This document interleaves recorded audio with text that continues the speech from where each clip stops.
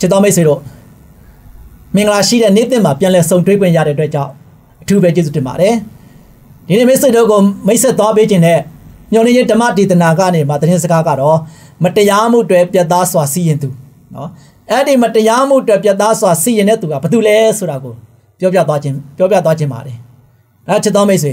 ယနေ့ဒီ line ပေါ်ကနေမှာကြိတ်နေတဲ့ခါမှာလို့ရှိရင်ကျွန်တော်အနေနဲ့မိတ်ဆွေတို့မသိရှိတဲ့လူတွေကလည်း မြန်မာ Union Mission ဆိုတဲ့စလုံးလေးရိုက်ထည့်လိုက်မယ်ဆိုတော့တရားပေါင်းများများစွာကိုကြားနာမှာဖြစ်တယ်။နော်ကျမ်းမာခြင်းတရား BOP တရားတွေအကုန်လုံးများများစွာအဲ့ထင်မှာလို့ရှိရင်ရှိပါတယ်။အဲချစ်တော်မိတ်ဆွေတို့ယနေ့သတင်းစကားတွေကကျွန်တော်တို့ကကြားရမှသိရမှကျွန်တော်ဖရားရဲ့အကြောင်းကိုပို့ပြီးတော့နားလည်လာမှာဖြစ်ပါတယ်။အဲဒီနေ့ပြောသားမဲ့သတင်းစကားပေါ်မှာလို့ရှိရင်ကျွန်တော်တို့အားလုံးနားလည်သဘောပေါက်ပြီးတော့ဝိညာဉ်ရေးခံယူနိုင်ဖို့ရန်အတွက်ကိတ္တခဏဆုတောင်းကြပါစို့ ထက်ကောင်းငယ်မွန်နဲ့တရှိတော်မူသောဖဗျာယနေ့နေ့တဲ့အတွက်သွေးသားတဲ့ညံပညာတဲ့စောမကအသက်တိနဲ့အပြည့်ဝသားမီးတို့ကိုပြန်လည်ရှင်သန်ခွင့်ပေးတဲ့အတွက်လည်းနာမတော်ကိုချီးမွမ်းပါတယ်ယနေ့နေ့တဲ့တပံမှာပြန်လည်၍ကြားနာပြီးဖြစ်သောသတင်းစကားသည်ကိုရရှင်ပြဝိညာဉ်တော်အားဖြင့်တုထိတော်မူခြင်းအားဖြင့်ကောင်းမွန်စွာဖြင့်ကြားနာတဲ့ခါမှာနားထောင်နေကြတဲ့ခါမှာပုံမပြီးမှကိုရိုနီတူနီကနိုင်သောတာသမီတီးတီးဖြစ်ဖို့ရန်အတွက်လည်းမဆာတော်ပါအမားနဲ့အမှန်ကိုဝေဖန်ပိုင်းချပြီးတော့ကိုရိုရှင်ဖာဖျားရဲ့တရားစီရင်ခြင်းမှာလို့ရှိရင် ဝန်ခံနိုင်သောတာသမီတီးတီးဖြစ်ဖို့ရန်အတွက်လည်းမတော်မီကြောင်းတပိုင်တော်တာတော်သခင်ခရစ်တော်၏နာမတော်ကိုမြည်ပြစတောင်းပါတယ်ဖာဗျာအာမင်ချစ်တော်မိတ်ဆွေတို့ဖရာသခင်က မတရားမှုကိုပြတ်သားစွာစီရင်တဲ့သူဖြစ်ပါတယ်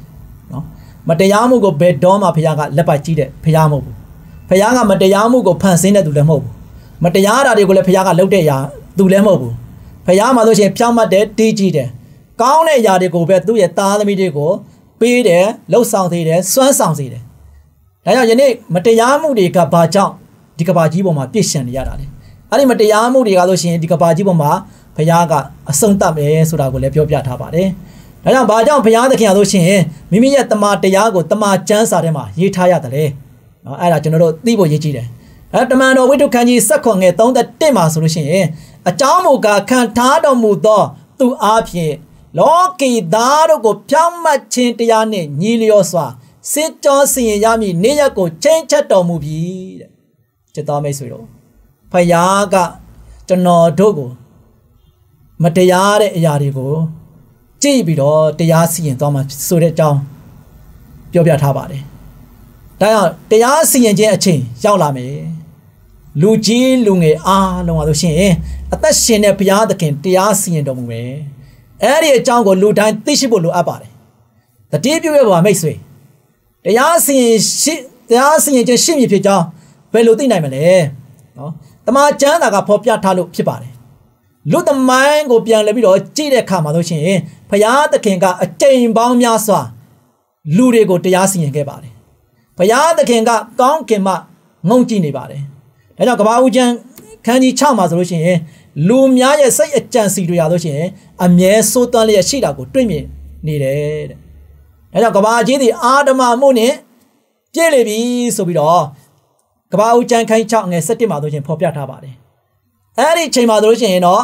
ကဘာကြီးကအလွန်စိုးတန်းလျက်ရှိပါတယ်စကားတို့ကိုနားထောင်ပေးမဲ့သူကိုဘုရားသခင်ကရှာဖွေနေပါတယ်အဲ့ဒီကမှာဆိုရင်ဘုရားသခင်ကဘု து ကိုသွားတွေ့လဲဆိုတော့နောအေးကို သွားတွေ့ပြီးတော့နောအေးကိုရွေးချယ်ခဲ့တယ်နောအေးကိုရွေးချယ်ပြီးတော့သင်မောတစီကိုတိဆောက်ဖို့ရန်အတွက်နောအေးကိုအမိန့်ပေးခဲ့တယ်ဒါကြောင့်မိမိတို့ရဲ့အပြစ်များကိုနောင်တရပြီးတော့ပြောင်းလဲကြရန်တရားဟောပေးရန်လဲနောအေးကိုဘုရားကပြောခဲ့တယ်။ဒါကြောင့်ဘုရားသခင်က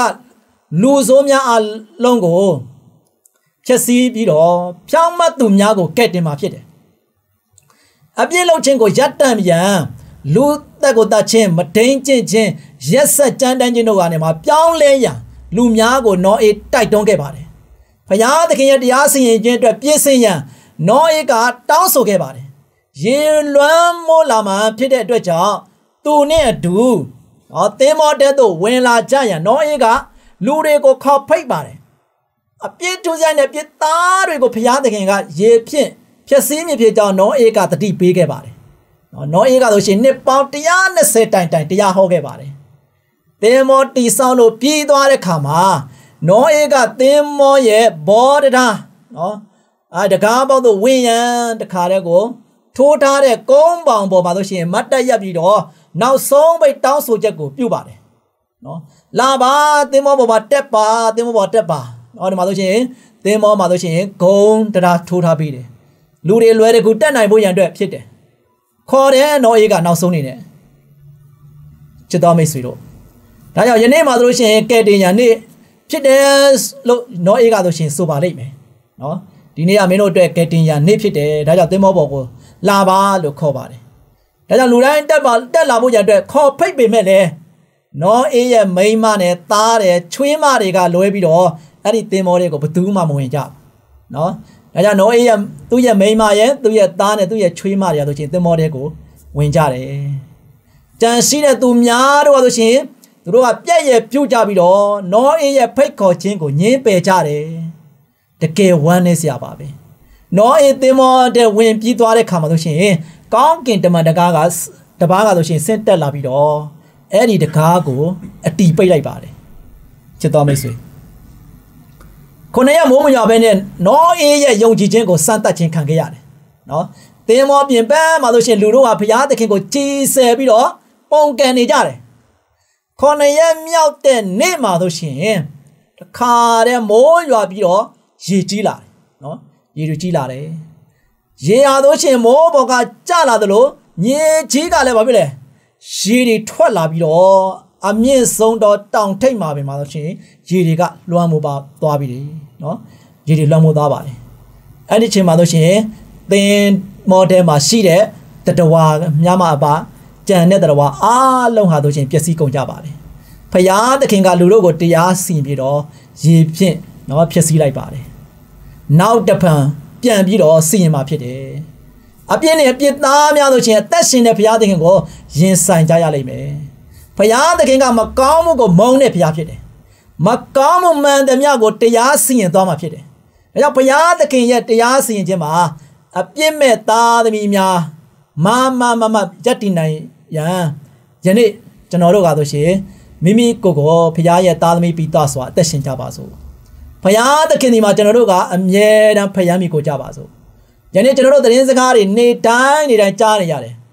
ကိုယ်စိတ်နှလုံးသုံးပါးကိုကျွန်တော်တို့ပြင်ဆင်ဖို့ရည်ကြည်တယ်နော် ခုနကနော်အေးကဆိုရှင်နှစ်ပေါင်း120တရားဟောရင်းနဲ့သင်္ဘောကိုတိဆောက်ခဲ့တယ်သင်္ဘောတိဆောက်ရင်းနဲ့တရားဟောတယ်တရားစကားကိုနေတိုင်းကြားနေရတယ်သို့ပေမဲ့လည်းလူအုပ်ကြီးရလို့ရှိရင်မပြောင်းလဲတာဘူးမပြောင်းလဲတာဘူးသူတို့ရဲ့စိုးသွမ်းခြင်းသူတို့ရဲ့မိုက်မဲခြင်းသူတို့ရဲ့မတော်လောဘနဲ့တခါတည်းကိုအတ္တတွေကလို့ရှိရင်သူတို့ရဲ့နှလုံးသားထဲမှာအမြင့်တွယ်နေတဲ့ခါမှာဖျားရှင်ဒီရဲ့ဖြောင်းမချင်းဘက်မှာသူတို့တွေဘယ်တော့မှမလာနိုင်ဘူးเนาะ ဘလို့ပဲနောအေးကသင်္ဘောဂုံတရားပေါ်ကနေမှာဘလောက်ပဲခေါ်နေပါစေသူတို့သင်္ဘောပေါ်မှာချစ်တလန်းတောင်မလန်းလောက်နော်ဒီလောက်ဒလိษံတွေကသူ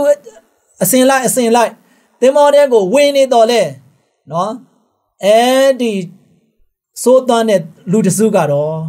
သင်္ဘောတဲကိုမဝင်ဘူးခေါ်နေတဲ့နောအေးကိုလည်းပြက်ရပြုတ်တယ်နောက်ဆုံးမှတော့ရှင်ဖျားသခင်ကိုလည်းကြည်ဆဲတယ်ပြက်ရပြုတ်ကြတယ်အဲဒီလိုမျိုးချိန်နေမျိုးမှဆိုရှင် ကောင်းကင်ကမိုးကြလာတဲ့ခါမှာဒါကဟုတ်သားပါလားအမှန်ပါလားလို့ထင်လိုက်တဲ့ချိန်ခါဆိုရှင်အားလုံးနောက်ကျသွားပြီဒါကြောင့်ဖျားသခင်ကမှန်တယ်လို့ထင်တဲ့ချိန်ခါဆိုရှင်တင်ဘဝအတွက်နောက်ကျသွားလိမ့်မယ်ဒါကြောင့်ယခုချိန်ကစပြီးတော့ဖျားဘက်မှာတင်တစ္ဆာရှိပါဖျားကိုဖျားမိကိုပါဖျားကရဲ့လိုလားတောင်းတဆုံးသောအရာကိုဖြောင်းမခြင်းကိုကျွန်တော်တို့ကဆွဲကင်ပါအဲကြောင့်ကျွန်တော်ရဲ့တက်တာဆိုရှင်ခုနောက်ဆုံးသောကာလရောက်နေပြီ ကဘာကြီးကိုတစ်ချိန်လုံးကဖခင်ကရေနဲ့ဆေးကြောပြီးတော့တခါတည်းကိုမိုင်မဲတဲ့သူတွေကိုတရားစီရင်ခဲ့ပါတယ်ယခုပြန်ပြီးတော့ဖခင်ကတရားစီရင်တော့မယ်နော်ဖခင်တကယ်ကဒီတစ်ခေါက်တော့မီးနဲ့ကဘာကြီးကိုလောင်ကျွမ်းစေပြီးတော့မိုင်မဲတဲ့သူတွေအားလုံးကိုမီးထဲမှာဆိုရှင်ကြာရောက်ပြီးတော့လောင်ကျွမ်းသွားမှာဖြစ်ပါတယ်အဲတော့ချစ်တော်မိတ်ဆွေဖခင်ကမတရားမှုအားလုံးကိုမုန်းတဲ့ဖခင်ဖြစ်တဲ့အတွက်ကြောင့်မတရားမှုတွေအားလုံးကိုဖခင်က အကုန်လုံးကိုစေကြောသားမှာဖြစ်တဲ့အတွက်ကြောင့်အဲ့ဒီမတရားမှုတွေမှာကျွန်တော်တို့မပါဘဲနဲ့ဖရာသခင်ဘက်မှာမမမမရက်တည်ပြီးတော့ဖရာသခင်ရဲ့ပေးတဲ့နော်ကောင်းကြီးမင်္ဂလာနဲ့တူကျွန်တော်တို့အမြဲတမ်းဖရာကုံတော်ကိုချီးမွမ်းရည်တွက်နိုင်သောတာသမီးများဖရာကြွလာတဲ့အခါမှာဝမ်းပန်းတတာနဲ့ဖရာပေးတဲ့ကောင်းခင်ရွှေမြို့တော်ကိုတက်နိုင်တော်သားသမီးတည်တည်ဖြစ်နိုင်ပါစေလို့အားပေးတိုက်တွန်းတဲ့နေကုန်းချုပ်ပါတယ်အားလုံးဘုရားကောင်းကြီးသွန်လောင်းချပေးပါစေ။